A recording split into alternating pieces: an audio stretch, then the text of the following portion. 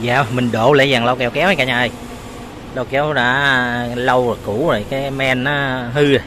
Không còn hát nó ngon nữa giờ mình đổ lên nha. Đó, mình gắn thêm một cái men này cả nhà. Men 200W men của Bowergua ABA 4002 sau này có một ngõ ao hai ngõ vào này cả nhà. Có hai kênh rào riêng biệt ra riêng biệt mình ghép hai cái lo hai bên nha. Cái lo này nè mình lấy cho cái cái lo của thùng kẹo kéo nha cả nhà còn cái kéo kênh bên đây mình lấy cho hai lo cái bót mình, mình thêm nha cả nhà. Cái bình của thùng cái kéo mình lên lấy là nguồn điện luôn. Cái này nó 12V nên mình xài cái điện bình dưới dưới cái thùng kẹo kéo lên luôn. Rồi bây giờ mình đổ cái loa này cả nhà.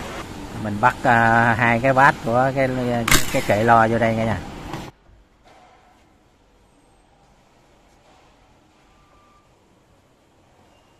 Dạ về đây mình gắn một cái mixer mini nha cả nhà. Có bluetooth, có USB, có karaoke luôn cả nhà.